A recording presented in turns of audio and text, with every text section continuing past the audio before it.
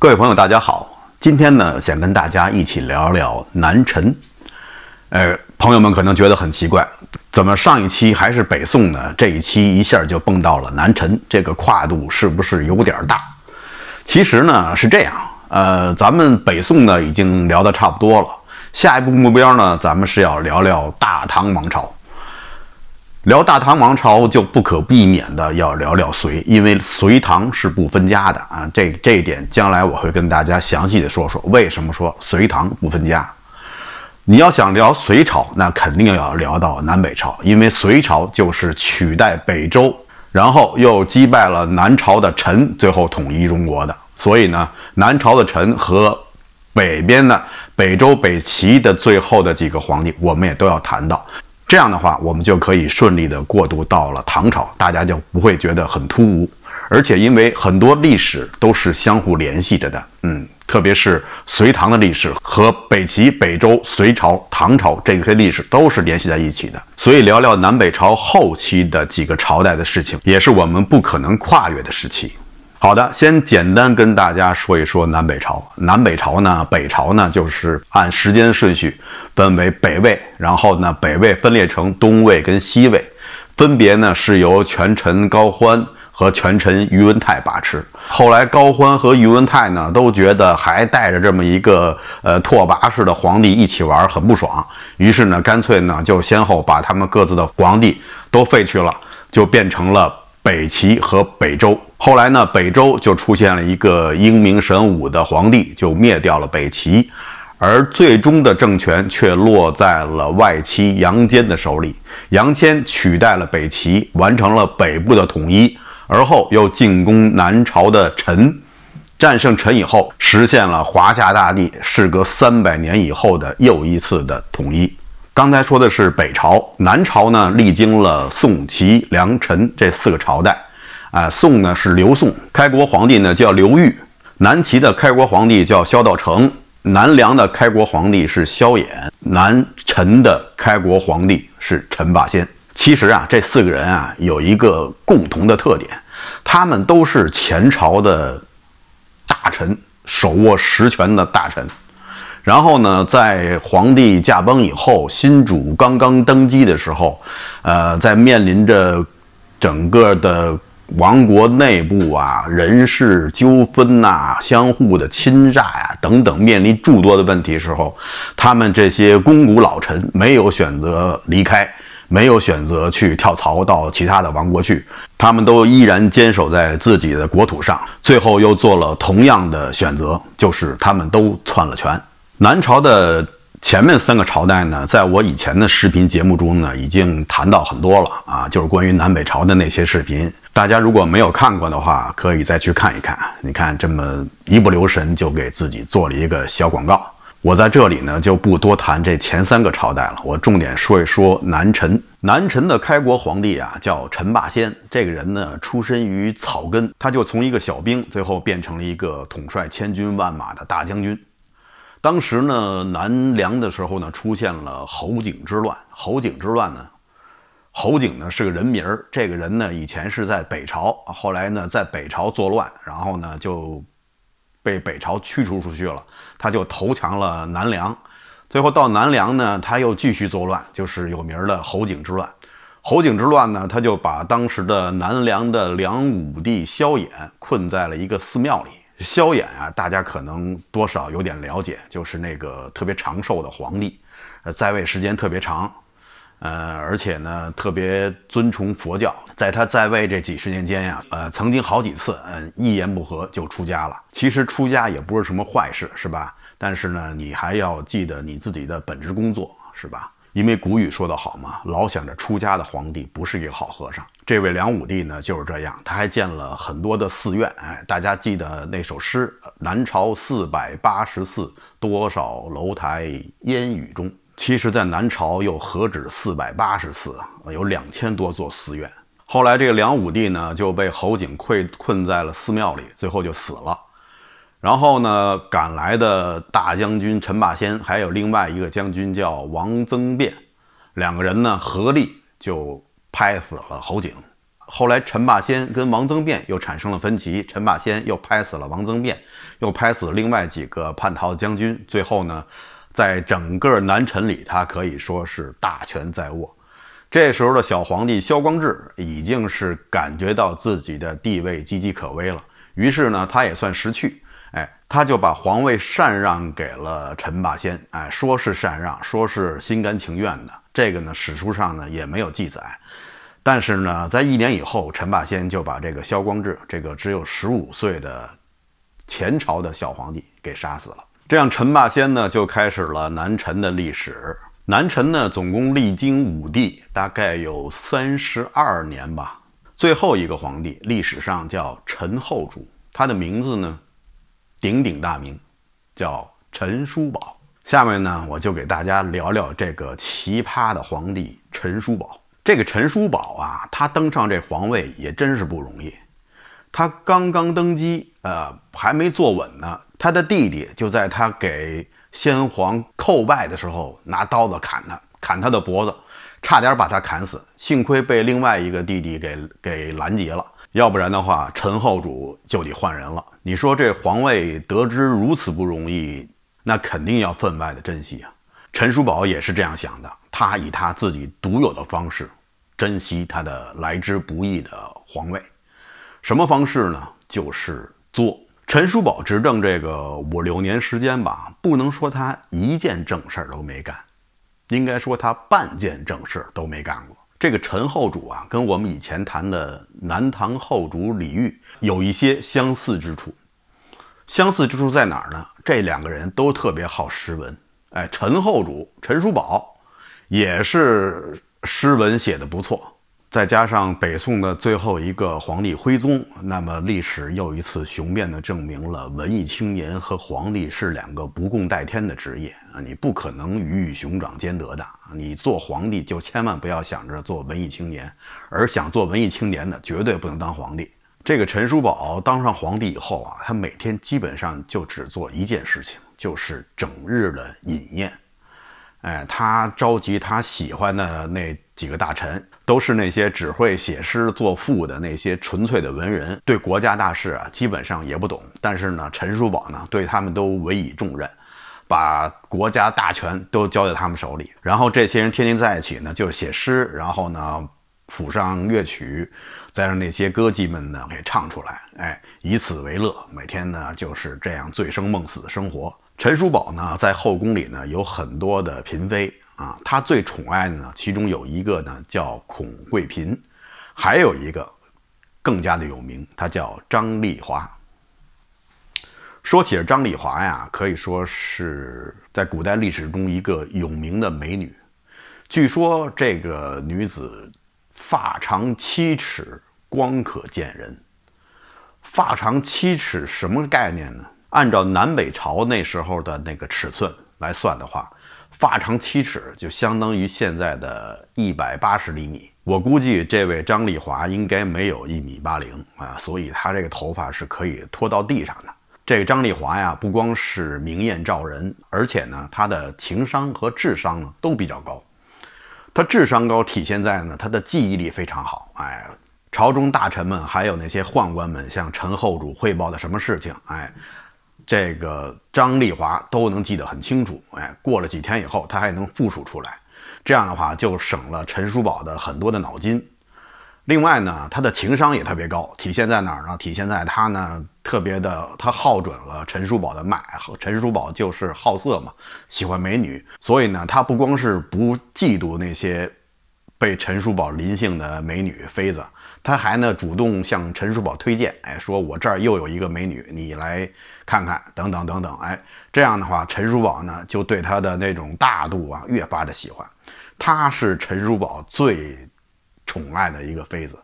陈叔宝呢还为她建了一个楼，那个楼建得很高。每次这位张贵妃站在楼上的时候呢，大家都觉得是一个仙子下凡。这位陈后主啊，还给这张丽华呀写过一首诗，叫《玉树后庭花》啊。其中呢有这么几句，叫做“妖姬脸似花含露，玉树流光照后庭。花开花落不长久，落红满地归寂中。”就是这样一首诗。这首诗呢，又被称作是亡国之音啊，因为它其中有“花开花落不长久”等等这些话。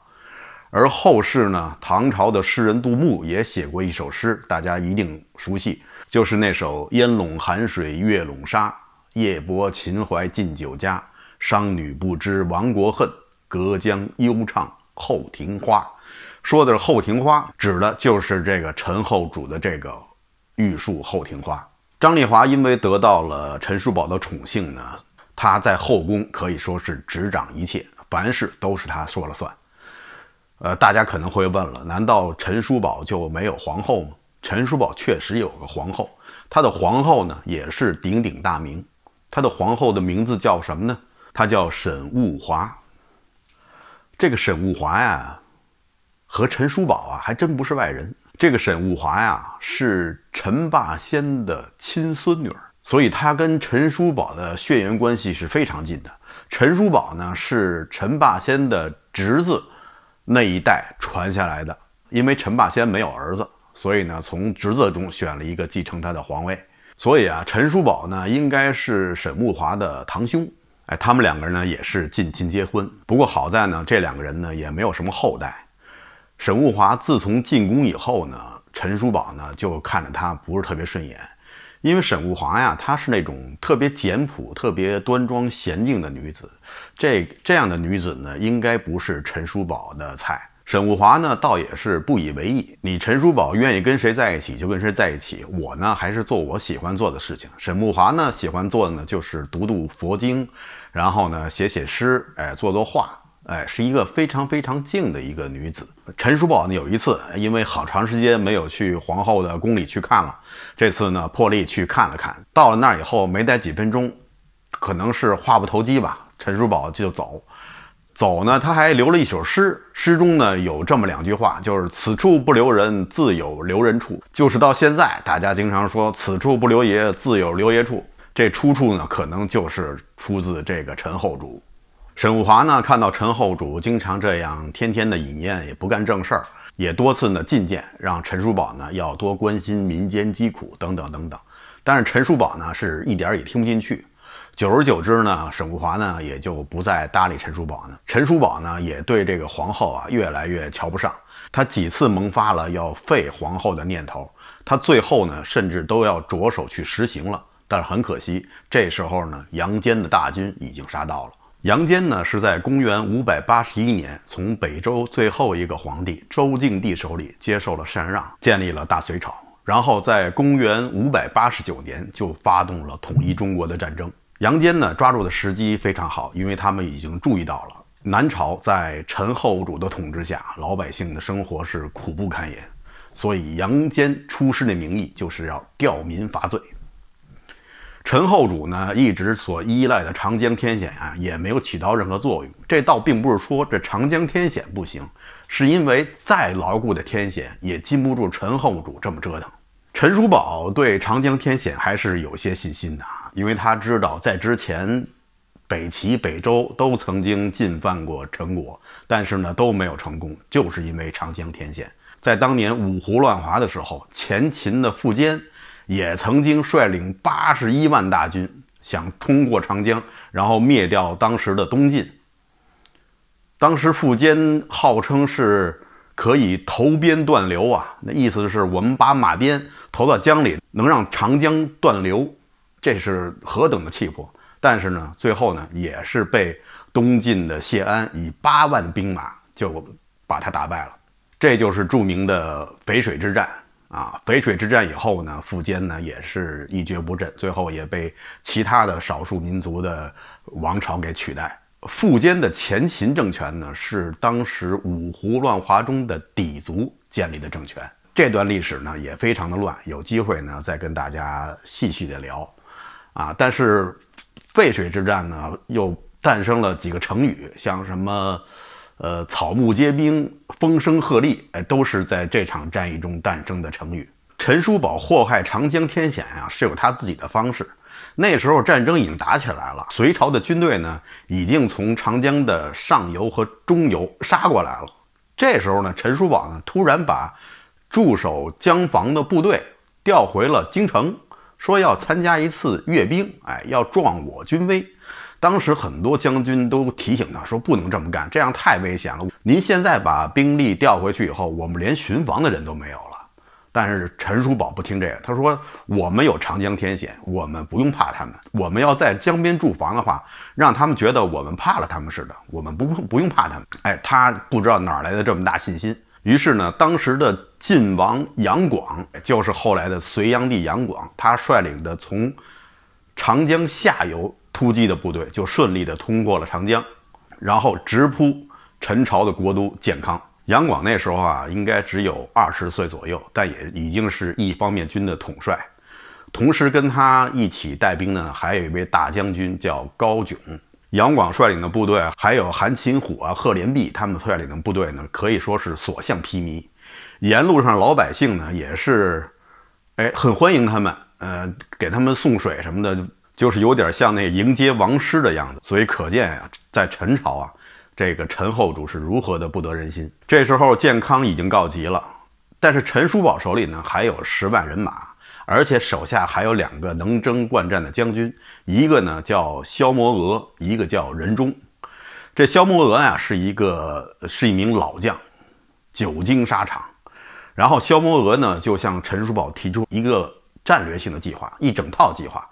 如果能够按萧摩额制定的计划那么执行下去的话，至少局面会稳定住，不会像现在就被摧枯拉朽的干掉。陈叔宝呢，倒是采用了萧摩额的计划，让这个萧将军啊带着十万兵去迎敌。但是萧将军前脚刚走，后脚陈叔宝就把萧将军的爱妾接到了自己宫里，哎，就给临幸了。这位萧将军很快知道自己的家人已经被陈后主霸占了，所以可想而知，这位将军还怎么迎敌？所以这萧将军啊，在跟隋军作战的时候啊，就摆出了一个奇怪的必败的阵型，结果十万大军就被韩擒虎的不到一万人马就击败了。到了这个时候，陈叔宝终于有点紧张了，呃，他就把这个还剩下的唯一的一名大将任忠叫到，也他就把还剩下的唯一的大将任忠叫叫进来，他赶紧啊，赏给了大将任忠很多的金银财宝。告诉他，你赶紧用这些钱去招募士兵，哎，好好的，一定要保护我无恙。任忠呢，领命以后呢，跟陈后主说：“你就放心吧，我保证把您护送出宫，哎，不会让你受到任何伤害。”哎呀，陈后主呢很感动，哎呀，说：“真是疾风知劲草，板荡识贤臣呐！”到这时候才知道任将军如此忠勇，哎，以前对你们确实不是很好，现在呢，没想到你们还这样保护我。哎，这任任将军呢，确实也不负众望。哎，回去把珠宝放在家里头，回头就投降了隋军，带着隋军就攻进了皇宫。这时候的陈叔宝啊，身边只有一个大臣还陪着他，就是当时的尚书仆射袁宪，这是一个真正的一个忠臣。这时候陈叔宝跟着袁业还道歉说：“哎呀，以前我确实对你们不好。”你看，现在那些跟我吟诗作赋的那些官员们，早就成鸟兽散了。还有你，唯有你还陪着我。这袁宪说：“咱就别说这个了，说现在怎么办吧，陛下。”陈叔宝说：“不用慌张，我早已想好了退路。”这袁宪说：“你什么退路啊？”陈叔宝说：“你跟我来。”然后就往后宫跑。带着他的那个两个妃子，一个张丽华，一个是孔贵嫔。到了后宫以后，看到一口井，然后陈叔宝就要往下跳，这袁宪赶紧把他拦住了，说：“这是井，难道您是想自杀吗？”陈叔宝说：“不是，这是口枯井，我们躲在那里，他们就不会发现了。”当时给袁宪气的呀，袁宪说：“陛下呀，说您是一国之君呢，说在这时候，我建议您就整官带。”好好的坐在正殿之上，等着他们来。不管是投降也好，还是被俘也好，我们都要保持我们作为皇帝最起码的尊严。说，如果您要是躲在这枯井里的话，那真是把陈朝列祖列宗的面子都丢光了。哎，陈叔宝说：“我还管这个？”然后起就把这个原宪推开，带着这个两个妃子，就嘣嘣嘣嘣，就仨人就全跳到井里去了。一会儿呢，这个隋兵就攻进来了，四处找寻，找不着这个陈后主，然后呢，就问了一些宫里的太监、宫女什么的。有的人呢看见他们了，就跟这个随兵说了，随军呢士兵呢就把这个枯井给围住了，就向你们喊话，说快出来吧，我知道你们在里面呢。里面呢没有回音，然后这个士兵也等得不耐烦了，就说你要再不出来的话，我们就往下扔石头了。哎，这时候陈后主回答了，哎，我在我在我在我就是呃陈叔宝啊。那个不要扔石头，我们你顺根绳子下来，我们上去。于是呢，士兵呢就顺了一根粗绳子下去，然后几个士兵，哎，非常精壮的士兵就往上拉着绳子，怎么这么沉呢？啊，后来又多来几个士兵一起合力把这个绳子拉上来，再一看，好，这一绳子上拴着仨人，这个陈叔宝啊，这点倒不错，哎，没有抛弃他这两个妃子，一起被拉上来。当时张丽华被拉上来的时候呢，脸上的脂粉蹭在了井壁上，于是后世这口井就叫做胭脂井。这时候，那位叫高炯的主帅也来了啊，看到了陈叔宝，还看到了张丽华，还有那孔贵嫔。他看到张丽华呀，果然是非常的美丽。于是呢，他就说：“他说当年的那个商纣就是被妲己迷惑，商被灭的时候，妲己也被杀死了。”所以这个女人也不能留，她就是一个红颜祸水。于是呢，当时就把这个张丽华给砍死了。呃，历史上还有一种说法呢，是说杨广呢不想杀张丽华，还想占有张丽华。但是呢，高炯呢还是把他给杀了。于是呢，杨广呢就记恨高炯，最后呢找个理由把高炯也杀了。但是这种说法呢，我觉得并不是特别可靠。另外呢，还有一种说法是杨广自己杀了张丽华。哎，不管是谁杀了吧，反正张丽华最终就像历史上以往那些被皇帝过分宠爱的妃子们一样，都成了王朝覆灭的替罪羊。那位孔贵嫔呢？呃，有一种说法说她当时也被砍死了，有一种说法呢是他失踪了。哎，这个咱们就不管了。陈朝呢就这样覆灭了。当时杨广、杨素他们呢，就把陈朝的皇族还有那些大臣们押送回了隋朝的都城长安。当然了，皇后沈雾华也在其中。沈雾华呢，还是像以往那样宠辱不惊、不卑不亢。而杨广还有隋文帝杨坚对陈后主也好，对沈雾华也好，都是非常的礼遇，特别是对沈雾华格外的尊敬啊，因为他们知道沈雾华在。南朝中的名声是非常好的，威望是非常高的。对这个陈后主呢，也是非常的客气啊。每次欢宴的时候呢，都把陈后主叫上。而且这个隋文帝杨坚呀，还是一非常细心的人。哎，他还特意的嘱咐那些乐队们不要奏一些江南的乐曲，免得陈后主思乡。但是啊，后来他发现啊，这位陈后主他一点不思乡。他天天在这过得挺好，跟以往一样的好。虽然没有了张丽华，没有了孔贵嫔，但是他的生活一样的很滋润。隋文帝呢，给陈后主以三品大员的待遇。这时间长了呀，这位陈后主呢，还有点不知足。他曾经啊，写了一个奏章，跟这个隋文帝说：“说你能不能给我一个实职啊？你给我都是虚职，能不能给我一个实职？哎，这样的话，我就我觉得就更体面一点。”当时隋文帝拿到他的奏章以后，说：“这都是什么人呢？此人真的是全无心肝的。”随同陈后主和沈皇后一同押到长安呢，还有他们陈朝的皇室成员，其中呢有一位公主叫乐昌公主，是陈后主的妹妹。这个乐昌公主呢，在陈朝的时候呢已经结婚，她的夫君呢叫徐敬业，是当时的太子舍人，也是一个饱学之士。夫妻两人呢，非常的恩爱。当战乱一起的时候呢，徐敬业就预感到了陈朝将会被覆灭，于是呢，他就跟公主说：“说的，如果说陈朝覆灭以后，以你的品貌才学，你一定会被嫁给某一个王公大员，而我呢，有可能就只有四海漂泊了。为了以后将来咱们两个人还能有机会见面呢，咱们要设计一个暗号。什么暗号呢？最后这个夫妻两人就商定啊。”把一面镜子掰成两半，两个人各执一半，约定好在每年中秋的时候啊，他们要在长安的集市上去卖这个镜子。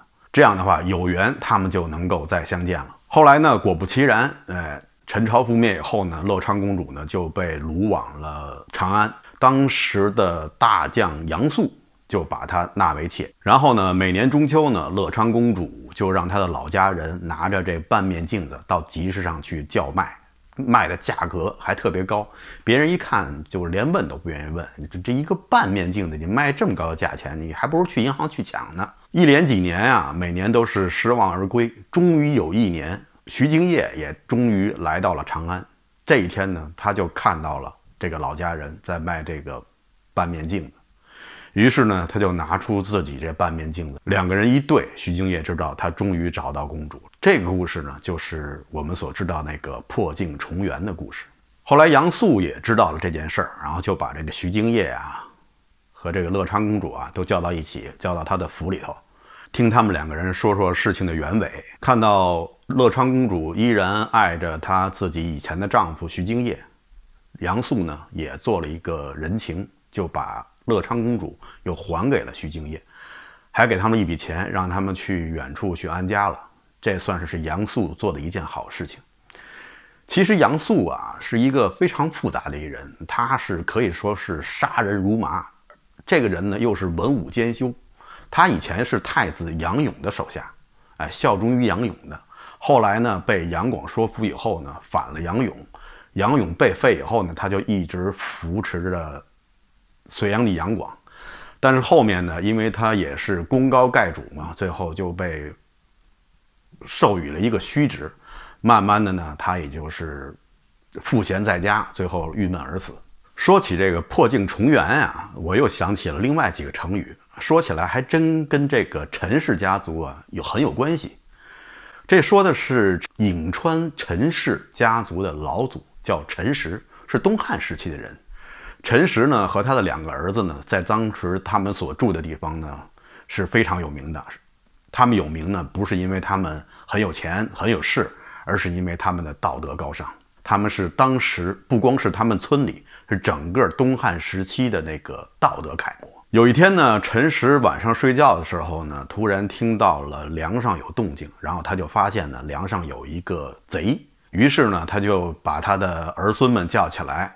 然后呢，在这个厅堂里的就跟他们训话，就告诉他们说：说有些时候呢，即使是生活所迫，也不要做一些错事。如果做了的话，你可能会后悔一辈子。梁上君子也应该记住这些话，等等等等。其实呢，他是说给梁上的那位那位小偷说的。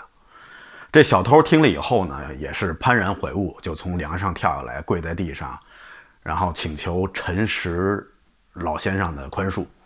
陈实呢对他教育了一番，陈实呢并没有过多的责备他，而且还给他了两匹绢，说你拿这个做点小生意，不要再做这些事了。这个故事呢就是“梁上君子”这个成语的由来，同时也是“陈实一道”这个成语的由来。陈实呢不是还有两个儿子吗？他的两个孙子，就这两个儿子各自的儿子，哎，曾经有一次呢，他们在在在一起评述。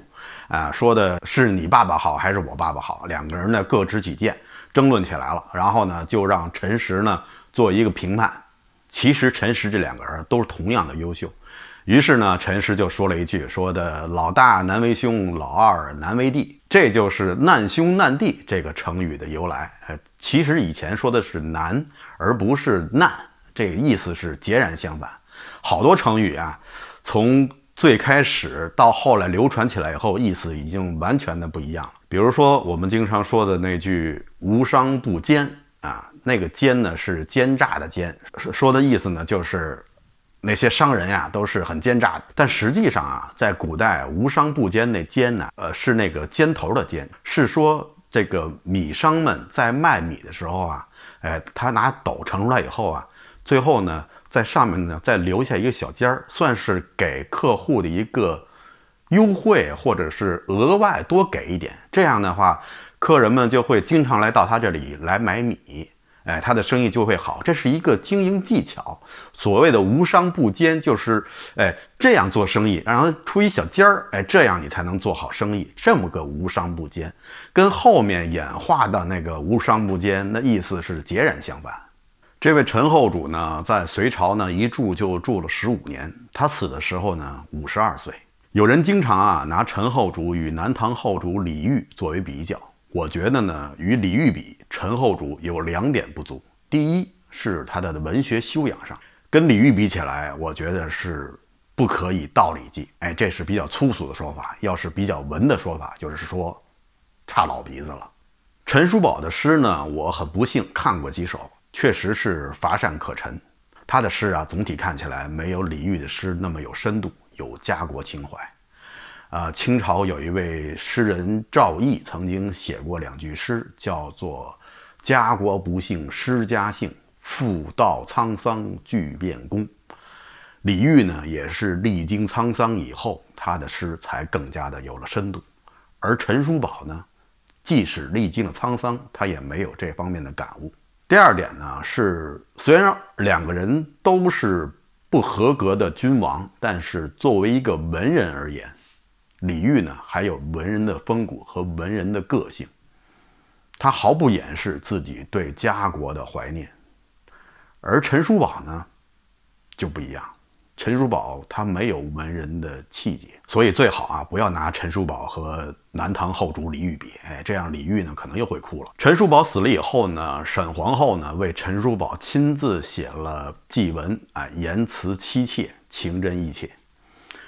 说起这个沈皇后啊，她是一直受到了杨坚的礼待。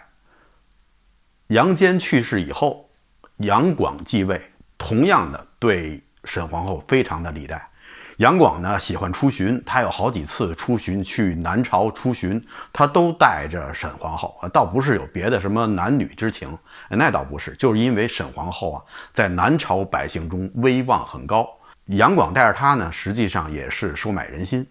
这位沈皇后啊，曾经在陈国遭遇百年大旱的时候啊，亲自为老百姓祈雨，她是一个虔诚的佛教徒。呃，他一祈雨，雨马上就下了。于是呢，当时的老百姓对他非常的信服。后来杨广驾崩以后呢，沈皇后呢也离开了都城，然后最后她在常州的一个天净寺出家为尼，法号观音。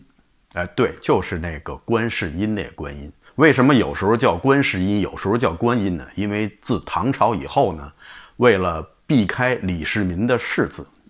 于是呢，观世音就变成了观音。沈皇后出家以后呢，有一次呢，当地的百姓呢向她求助，因为当地呢征招了很多呃老弱妇孺去当兵，呃，实际上就是当炮灰，去跟唐国军队作战。因为当时在隋末嘛，所以有很多的割据政权啊，当地呢割据政权呢就征召了很多炮灰，然后呢这些炮这些当地的百姓呢就向沈皇后求助。看他能不能想想办法救这些一千多个人。于是呢，这个沈皇后呢就想了一个办法，把这一千多人啊给救下来了。而且呢，沈皇后呢在中途呢还假扮天神，挡住了追兵。那些得救的百姓呢就四处传扬沈皇后的善举，而且还把沈皇后扮演天神的画像，哎，就四处张贴，然后说这就是观音下凡，观音出世。呃，于是呢，后世的观音就是女子的观音形象，有些地方呢就是取的沈皇后的形象。他们认为这位沈皇后就是观音菩萨下凡。后来这位沈皇后呢，也是因为担心官府呢会追究她，于是呢，她就跑到了山东的莱州，在那里的白云庵修行。后来唐太宗李世民也听说了沈皇后这些事迹，特意呢以最高的礼节来迎接她去。长安，但是这时候呢，沈皇后已经功德圆满，后来就在白云庵圆寂了。这也算是一段佳话。以上呢就是陈朝覆灭的这段历史。下一期呢，我会跟大家谈谈北周到秦朝以及秦朝到初唐的这段时间的历史。欢迎大家收看。好的，呃，以上就是本期节目的全部内容。谢谢大家收看，欢迎大家订阅点赞。好的，咱们下次节目再见。